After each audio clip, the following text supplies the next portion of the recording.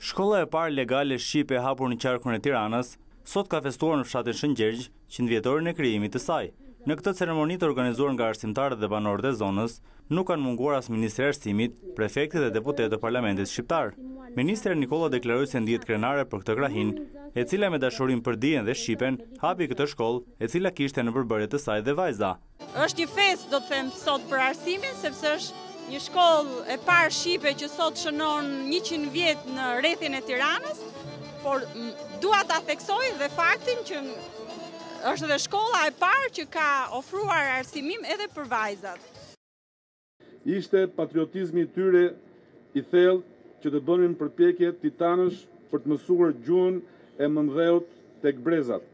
Një prej drejtorëve më të vjetër të kësaj zone, Veli Dusha, bëri publike dhe nismën e disa biznesmenëve, të cilët shkollën e parë shqipe në Shëngjergj do ta ringrenë dhe do ta bëjnë muze të vizitueshëm. Nismë kjo, që gjeti mbështetjen dhe të Ministrisë së Arsimit. Në bashkëpunim me disa biznesmenë po nga Shëngjergji, kanë shprehur iniciativën që në themelet e asaj shkolle që u prish dikur, të ndërtohet po ajo godinë që ish ma parë, me atë projekt që ka qenë, dhe ta kthejnë në një shkollë muze që të kitohet brez mas brezi në zonën e Shëngjergjit.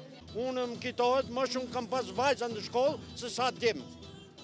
Ishin tepër të interesuar, edhe sot shikohet edhe sot bukuria në shkollë, kuadrat janë ma tepër vajza dhe drejtuesja e shkollës është femër. Gjëja ma e bukur. Njëra nga ato vajzat e para që ka qenë në shkollën e Skrepit të Shëngjergjit, unë kam qenë në shpinë e Qazim Kërziut, ku e motra e atij ka qenë nxansja e parë në këtë shkollë.